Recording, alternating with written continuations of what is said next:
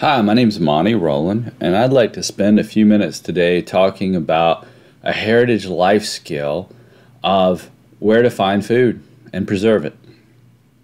So, one of the things that we've become very, very accustomed to is packaged food. Packaged food is homogenized and is packaged and and is safe and is inexpensive and you can eat it but it's not the healthiest option and in a crisis it may not be available so how do you work around that well, let's step back and think about when you were driving to work yesterday or you were driving to I don't know, out for to run an errand, you drove by a place.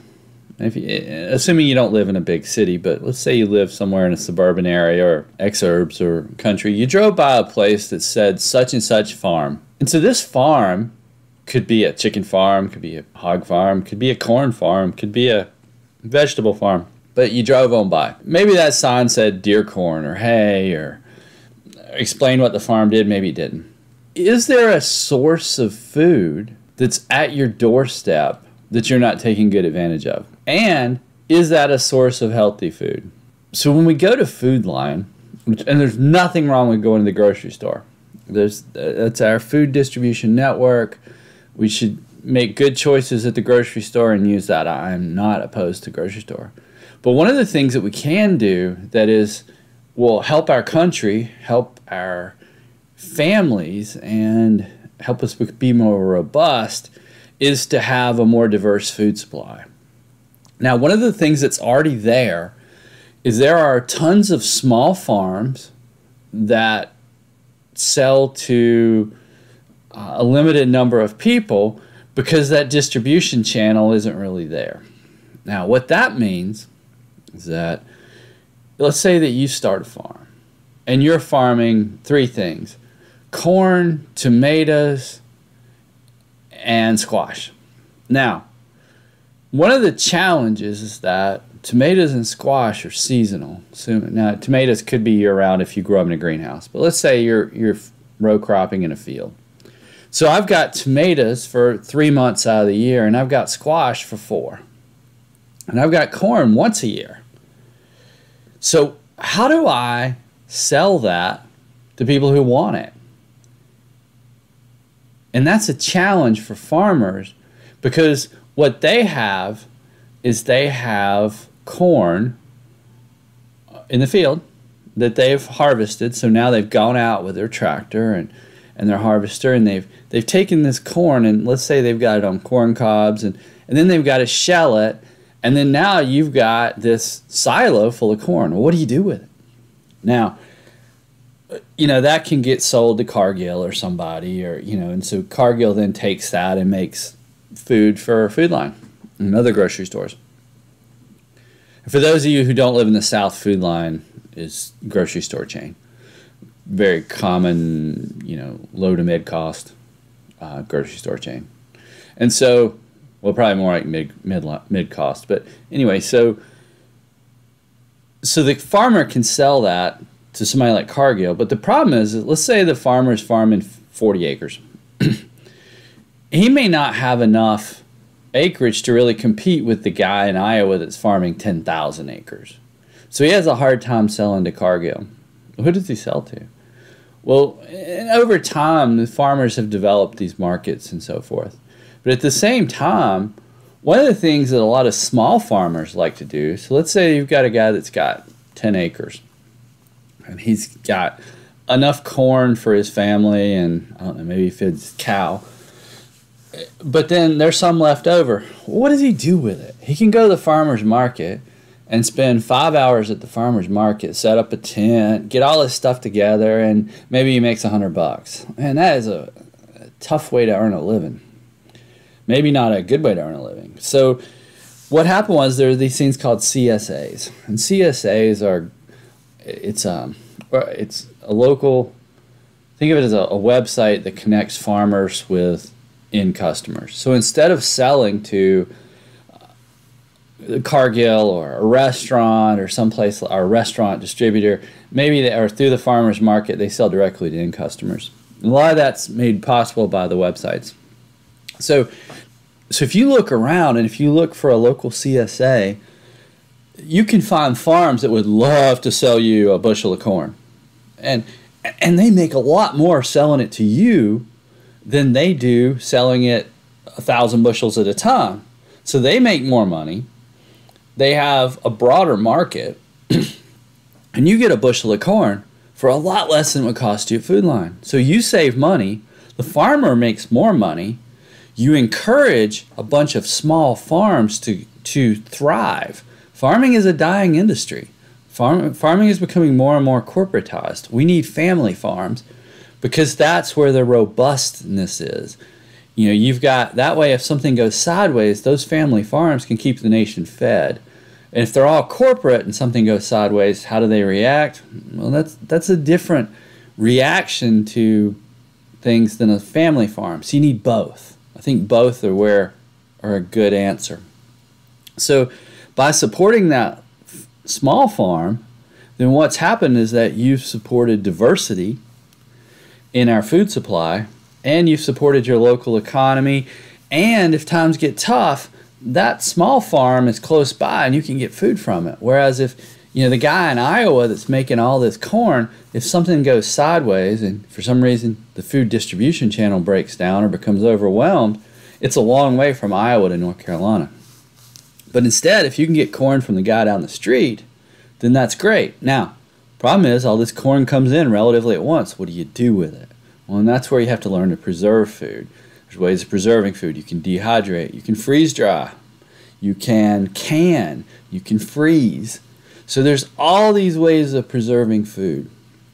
So you've got to go out and find that. Now, if you the way to save money is to go and do it yourself. So let's say you go buy a bushel of corn. We did this this summer. Took a bushel of corn, through a couple of evenings, and kind of did a lot of the work on this. I'll give you credit there. Take that corn, put corn cob in the free corn on the cob in the freezer. Doesn't take that much work. It takes some, but now you've got this locally grown, really good Silver Queen, which is the variety of corn corn on the cob in the freezer, which is really nice. Know where it came from. And so it was less expensive than buying three ears in a package at Food Lion. Now, like I said, I'm not anti Food Lion, I'm not anti grocery store. I just would like to have us have a more diverse food chain or food supply, supply chain, I should say.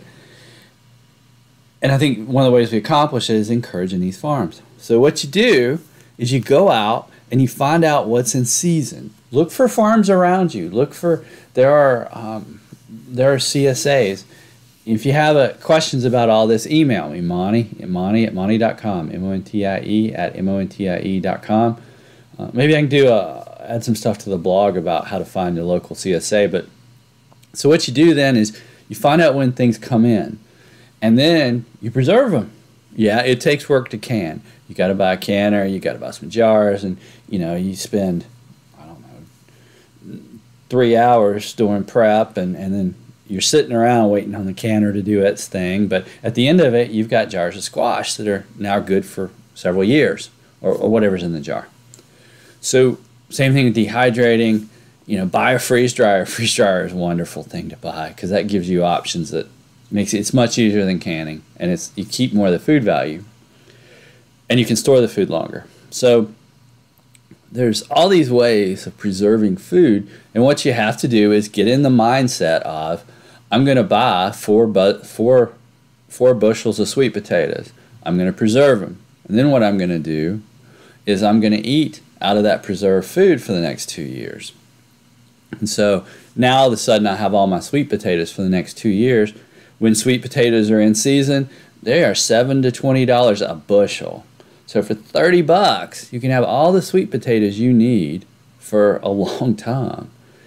And potatoes are the same way. When all these potatoes are coming out of the fields, you just have to preserve them.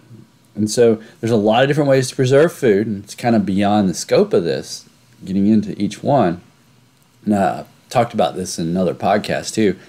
But this is kind of this, you know, you've got to hunt out, figure out where these farms are, and then find out when their crops are available, the ones that will sell directly to consumers, and then purchase. Uh, you know, you buy a bushel of tomatoes. Well, okay, and you spend the next four evenings preserving tomatoes. You can them, you freeze them, what have you, dehydrate them, or maybe all the above. Yes, it's work, it's labor, but now you've got some food security you saved money, and it's fresh because you did it. You know where it came from. You can probably find out what was put on those plants pesticide wise, and you know, you know the quality, you know how it's preserved, and it's right there at hand. So you are um, more food secure. And in this one area, you're more self reliant for tomatoes, let's say, and maybe you do potatoes, and maybe you do beans and and none of the work is super difficult, but it is time in the kitchen and but at the same time, you know, it, it's it's a good thing to do. It's really good for your family, and I, and I think it's a win. So my thought here is to learn where your local farms are, find out when their crops come in, because you've got to buy it when the crops come in, and then you've got to preserve it then. So in that, so when you go buy a bushel of tomatoes, you're going to be spending the next few evenings twin tomatoes. It really doesn't matter if there's a football game on. That's maybe watch football while you slice up tomatoes, but but these are things you can do. These are things that everybody can do and everybody can work on, and the whole family can help. And I know kids don't see the value in that, but it's a win. And so that's a heritage life skill of knowing when the crop comes and then putting that crop and preserving it. And that's the way that you can save money and be more self reliant. And maybe have some quality time as a family in the middle of it and teach your, your kids good skills. These are things that our grandparents did. Most of our grandparents. Um, maybe if you had grandparents that, that spent their whole life in a big city, maybe not. But in the South, where it's more rural, these are things our grandparents did, our parents did. And this is skills we need to, to relearn in some cases and then pass along to our kids because being self reliant and even in one area decreases the amount of stress in your life and puts you in a better situation to thrive if things do get sideways. If nothing else, now you've got you've saved some money and you've got self reliance in one area for a few evenings' work. This is Montie Roland, signing off.